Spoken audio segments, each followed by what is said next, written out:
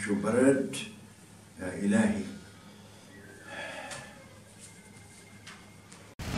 Φίλε και φίλοι, όλου αυτού του μήνε συζητήσαμε για τα προβλήματα, τι ανησυχίε, τι προσδοκίε σα, για την ανάγκη μια διακυβέρνηση που θα δημιουργήσει ελπίδα και προοπτική για το σύνολο του Κυπριακού λαού. Μπήκαμε στην τελική ευθεία και τώρα είναι η ώρα να εντατικοποιήσουμε την προσπάθειά μα, να δουλέψουμε πιο δυνατά όλοι μαζί. Είμαστε χιλιάδες και ναι, μπορούμε να πετύχουμε όλα όσα θέλουμε για μας και τα παιδιά μας.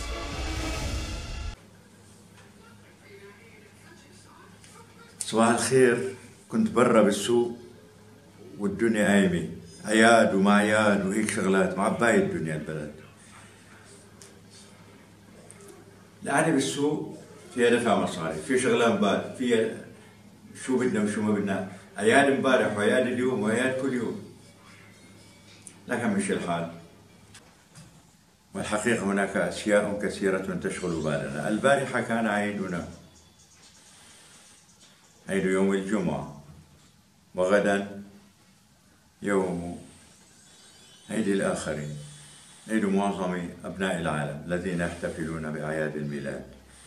أعاده الله علينا وعليهم بكل خير. لماذا أقول هذا؟ أقول لأن الإنسانية واحدة ومشاكلها واحدة فالأمراض تصيب الجميع ولا تصيب فئة معينة أيضا الطموحات نفسها والاستعمالات نفسها والأكل نفسه والشرب نفسه والدواء نفسه والمصائب نفسها ميزة قبرص الكبيرة التي يجب أن أتحدث بها دائما أنها مركز العالم كيف هي مركز العالم؟ هذا السؤال الذي يتبادر لي أذهان الكثيرين كيف هي مركز العالم؟ أستطيع أن أقول إنها مجمع لكل شعوب وثقافات العالم هي مكان فيه المسلمون وفيه المسيحيون وفيه كل الملل الأخرى حتى أبعد الشرق وأبعد الغرب. وأيضا فيها كل القوميات مئات القوميات موجودة فيها. ليست هناك قومية غير موجودة موجودة في قبرص. لذلك نقول عنها كوزموبوليتان بمعنى تجمع بشري ثقافي من كافة الأجناس. وكافة الأنواع. أحبتي ميزة هذه البلد أنها مركز العالم. وإذا تحدثنا عن مركز العالم أقصد مركز ثقافات العالم مركز زيارات العالم. ليس هناك شعب ليس له بعض أفراده هنا. من كل شعوب الأرض ومن كل ديانات الأرض ومن كل سياسات الأرض ومن كل شيء ومن كل ثقافات الأرض تجد المعابد المختلفة موجودة. تجد الثقافات المختلفة موجودة. تجد كل شيء يمكن أن تفكر فيه موجود. تمشي في الطرق وتسمع كافة اللغات. إذا هنا مجمع حضاري. وهذه البلد تعيش على المجمع الحضاري لأنها بلد مفتوحة. فيها كرامة الإنسان حقيقة.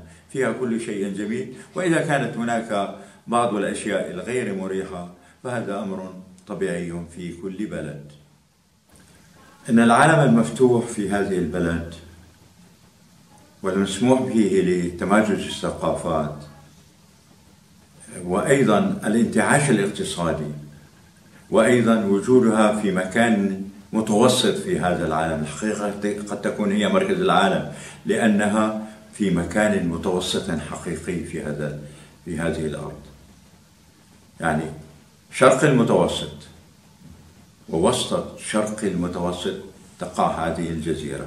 وهذه الجزيرة هي ثاني أكبر جزيرة في آه، البحر المتوسط لكنها أيضا محدودة المساحة ومحدودة الإمكانيات ومحدودة آه، تطورت فيها قضية آه، التواصل مركز تجاري مركز ثقافي. حتى أن كثير من المجلات نشأت هنا في زمن مضى مجلات عربية لكنها الآن غير موجودة. الحقيقة هنا تجمع وهنا مركز وهنا شعوب بالإضافة إلى الشعب الأساسي الذي احتضن الجميع والذي فتح الباب للجميع. دخل كثيرون من العمال واشتركوا خاصة في مجال البناء ومجال بعض الصناعات ومجال التجارة ومجال البنوك. آه، حتى أن أصبحت قبرص يعني مركز من مراكز العمل في العالم كله. ما حدث في منطقة الشرق الأوسط من اهتزازات وارتجازات سياسية واجتماعية أدت إلى موجات هجرة؟ هل هجرة قسرية أو هل هجرة بقصد تحسين الحال المعاشي أو هجرة لجوء أو كل أنواع الهجرات حصلت وبموجات هائلة وكبيرة؟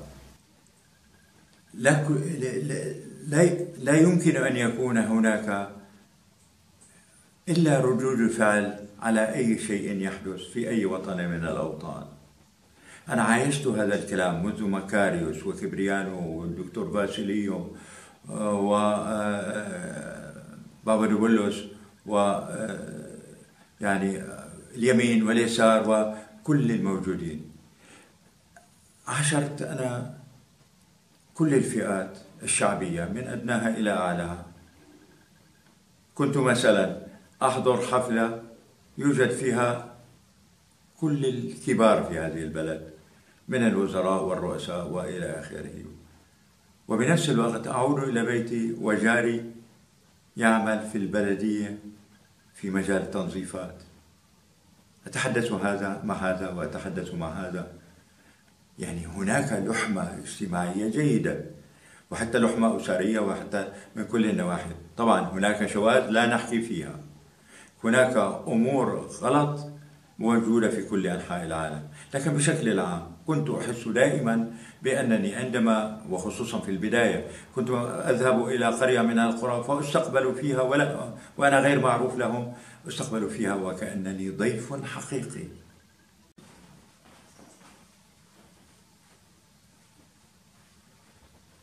أحبتي مرت سنوات طويلة. وتفاعلت الناس. حتى أن نيقوسيا فيما أذكرها عندما جئت كانت نصف أبنيتها. والآن تضاعفت خلال أقل من خمسين سنة. تبدلت الحياة كثيرا. وكثرت الناس وكثرت الجنسيات وكثرت الاختلاطات وكثرت الديانات وبقيت قبرص بلدا مفتوحا.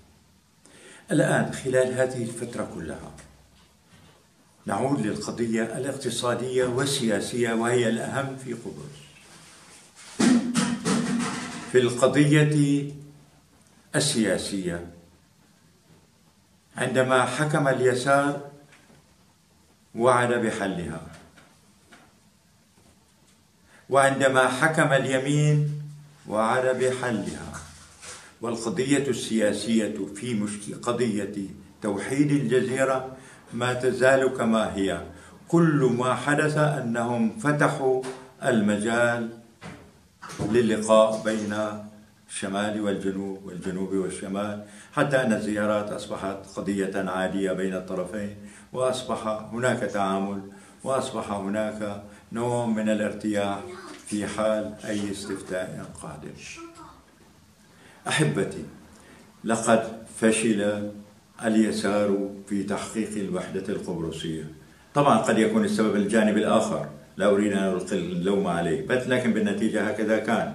وأيضا فشل اليمين بتحقيق أيضا حل للقضية القبرصية.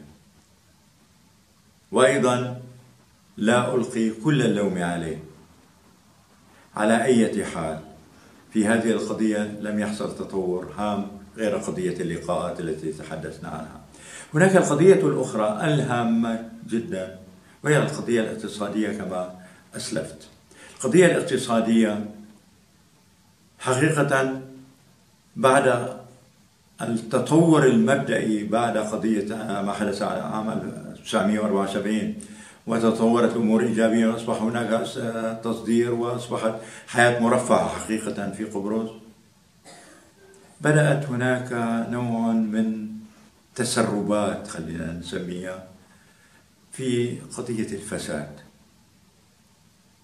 قضية الفساد موجودة في كل الدنيا لكنها تكون محدودة ويحاسبها القانون عندما تظهر.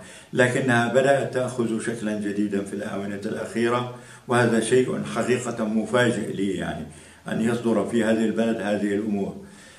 لكن خلال السنوات الأخيرة ولن أحدد سنوات معينة بدأت تصاوب قضية الفساد. يعني قضية الرشوة تمرير آه، قرارات غير مناسبة قضية جوازات سفر قضية الجنسيات قضية يعني هذه الأمور بدأت تكبر وتعظم. لدرجة أنها وصلت إلى مفاصل كبيرة وأصبحت خطيرة. خلال عشر سنوات الأخيرة فوجئ الشعب القبرصي بأنه محبط فيما انتخب وما يريد أن ينتخب. من هذه المنطلقات فشل وفشل نبت ضوء جديد الحقيقة في الوسط. في الوسط ولم يكن منتظرا. كان بيضة القبان كما يقولون. لكنه الآن أصبح مركزا. إذك ذيبا آه، ذيكو هذه الثلاثة أحزاب التي أساسا أساسها هو دكتور فاسوس ليساريديس ورئيس الجمهورية الراحل سبيروس كبريانو الذي كنت حقيقة قريبا منه. وأحبه كما أحببت مكاريوس وكما أحببت الدكتور فاسوس ليساريديس هذه الأحزاب الآن تكتلت لدعم شخص معين شق عن اليمين كان وزيرا الخارجية. وهذا ما استدعاني للتفكير عندما دعيت لأن أكون آه، ممثلا لهذا الرجل أو آه، لنقل أنني الرابط ما بينه وبين الجالية الناطقة بالعربية. وأيضا لنقل آه، كدور المستشار ودور مفتوح لي الحقيقة الموضوع. من خلال عدة لقاءات غير رسمية ولقاء رسمي تم في 23 11 حديثي سينصب هنا. لماذا نيكوس غريستودوليدس الرئيس القادم لقبرص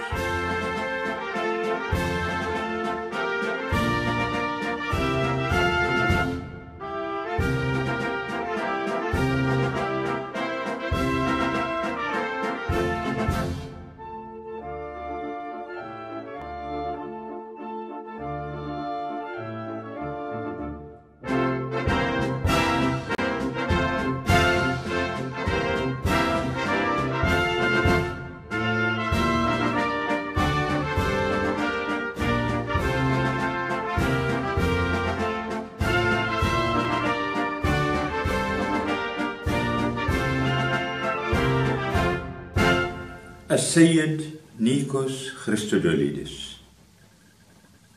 ثمانية وأربعون سنة من ضواحي بافوس. كان وزيرا للخارجية ولكنه تنازل عنها وخرج ليعلن نفسه مرشحا لرئاسة الجمهورية. من الذي تخلى عنه ومن الذي انضم إليه؟ الذي تخلى عنه اليمين فقدم مرشحا آخر. وأيضا بالطبع طبعا موقف اليسار له مرشحه الخاص. أيضا الذي اقترب منه وسانده وانضم إليه هي ثلاثة أحزاب في الوسط. ليست هي الأولى أو الثانية لكنها الثالثة والرابعة والخامسة. بمعنى أن هناك تكتل في الوسط. بمعنى أن فشل اليسار واليمين في مرحلة ما طبعا لا يعني هذا فشلهم إلى الأبد لكن بتجربة الشعب القبرصي بأنه قد سئمنا من هنا ومن هناك نريد وسطا ونريد الوسطية التي تجمع كافة أبناء الشعب القبرصي وكافة أيضا القبارصة من أصل غير يوناني أو غير تركي. هذه الفكرة وهذا التكتل أظهر السيد نيكوس خريستودوليدس في موقف الذي يريد أن يجمع كل الشعب القبرصي في وحدة تسير نحو اقتصاد أفضل وهذا اهتمامه القوي. وأيضا باتجاه حل القضية القبرصية وهي الشأن القومي الأساسي لوحدة قبرص. أحبتي هذا التكتل الوسط لف حوله الكثير من المواطنين القبارصة من خلال استطلاعات الرأي ومن خلال أيضا ما شاهدته وقابلته بشكل مباشر من خلال المعارف أو الذين أقابلهم في الطريق أو الذين تصدف أن أتحدث معهم في هذا الشأن. وكان انطباعي واضحا وقويا بأن سيد نيكوس خريستودوليديس هو الذي أخذ قصب السبق. هذا واضح.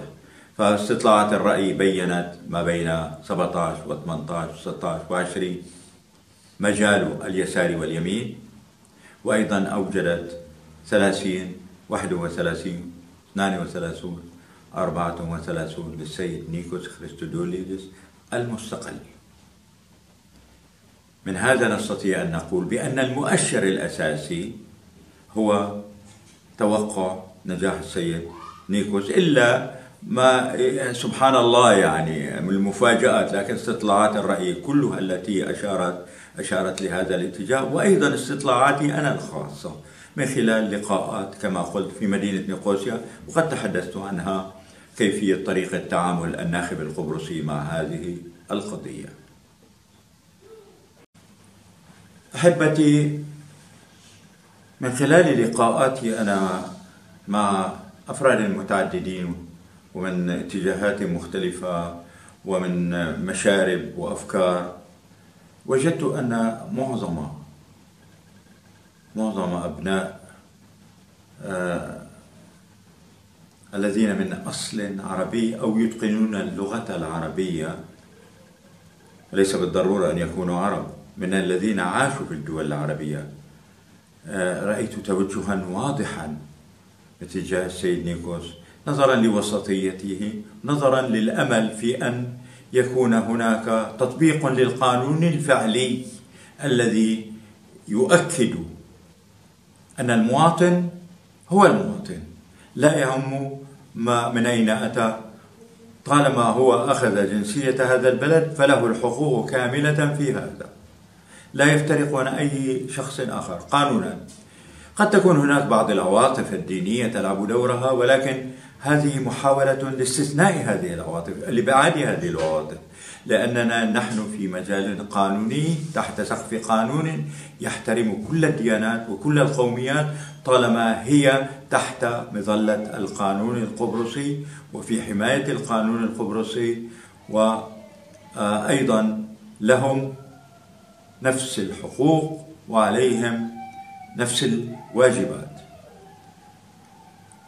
على هذا الأساس أنا لاحظت حقيقة يعني معظم أبناء الجاليات المختلفة ليس فقط العربية كما قلت حتى أن هناك جهات من دول أخرى آسيوية بهذا الاتجاه. لذلك يعني إحساسي يقول بأننا أمام احتمال كبير في نجاح السيد نيكوس. وربما ربما من الدورة الأولى. لكن أيضا ربما سيحصل هناك وعلى الأغلب فيما أعتقد أن هناك دورة ثانية فيما اعتاد عليه القبارصة الأسبوع الأول سيحقق سيبين من هو الأول والثاني والأسبوع الثاني سيكون هو الفاصل في هذا الموضوع. يبدأ الانتخاب في الخامس من شباط 2023 صباحا باكرا ويتم حتى المساء وتفرز الأوراق في نفس الليلة. وعادة عند صباح اليوم التالي نكون قد حصلنا على النتيجة. وفي استطلاعات الرأي أن النتيجة ستكون أولا لسيد نيكوس خريستودوليدس وثانيا لأحد المرشحين اليسار واليمين. وقلنا بأن الدورة الأولى يتوقع أن يكون النيكوس خريستودوليس هو أحد المرشحين القويين الآخرين نسبيا اليسار أو اليمين. في هذه الحالة سيبقى سيد نيكوس مع أحد المنافسين. لو كان الشخص الثاني هو من اليمين وقد أجد في ذلك صعوبة. آه، بالتأكيد فإن الوسط هو الذي سيتلقى الجزء الأكبر من باقي الأصوات. وأيضا لو كان المنافس الثاني هو من اليسار فأتوقع أن الجزء الأكبر أيضا من اليمين هو الذي سيعطي الوسط. من الصعب جدا أن أتصور بأنه قد يتم لقاء ما بين المتناقضين الأبعد هو الأبعد من المستبعد جدا والمنطقي أن لا يحصل ذلك.